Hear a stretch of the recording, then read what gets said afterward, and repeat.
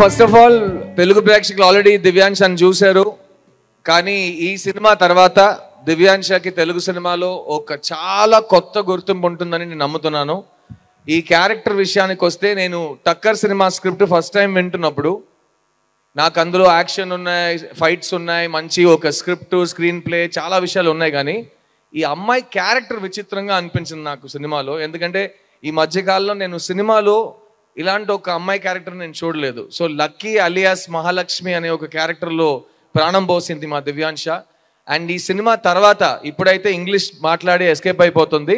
ఈ సినిమా తర్వాత తప్పదు తెలుగు నేర్చుకుని నెక్స్ట్ టైం వచ్చి ఈ సినిమా ప్రైస్ మీరు ఎంత ఈ ఈ పొగడతారో మీ పని ఎంత బాగుంది బాగుందని చెప్తుంటే అది అర్థం చేసుకుని తెలుగులో థ్యాంక్స్ చెప్పేలా నేను తయారు చేసి తీసుకొస్తాను. ఇది మాత్రం నేను మీకు చెప్తున్నాను. ఓకేనా so Divyansha on behalf of all the Telugu audiences and fans welcome to our cinema and looking forward to your big fan following after this film and Takkar June ninth మీరు నా కోసం వచ్చి చూస్తారు నాకు తెలుసు కానీ దివ్యాంశ కోసం సెకండ్ టైం చూస్తారు. ఇది మాత్రం ముందే రాసి పెట్టుకోండి. ఓకేనా? Thank you thank you so much thank you thank you Divyansha so much మీ ఇద్దరిని మళ్ళీ మేము స్టేజ్ పైకి ఇన్వైట్ చేస్తాము. Thank you so much please have your seats